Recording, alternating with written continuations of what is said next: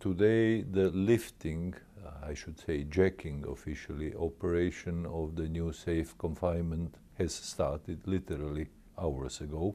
Approximately 5,000 tons of the engineered steel elements have been assembled at Chernobyl site and the jacking operation is starting today and it will probably take several days until this whole structure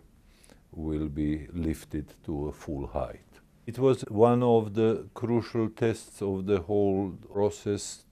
to get to the point where the assembly of the structure itself starts.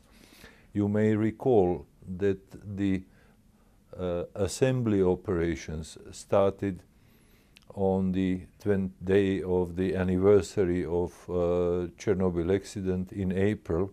and the progress in this year has been excellent and we are very encouraged with the progress that has been achieved. The schedule is to complete it before the end of 2015. This is still a very ambitious, demanding schedule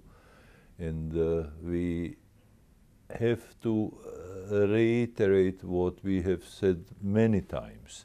is that it continues to require excellent performance of all the participants in the project. And when I mean, say all the participants, it is the contractor, it is the project management unit,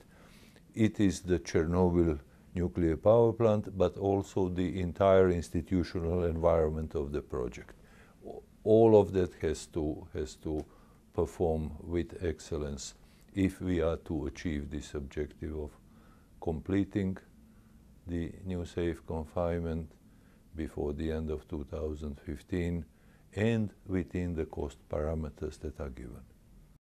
I have to say that uh, the donors have pledged full amount and uh, this amount is uh, still sufficient to complete the project with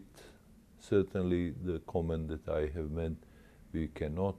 afford any delays, we cannot afford any performances which are below a very, very high standard because it will affect the schedule, it will affect the cost otherwise.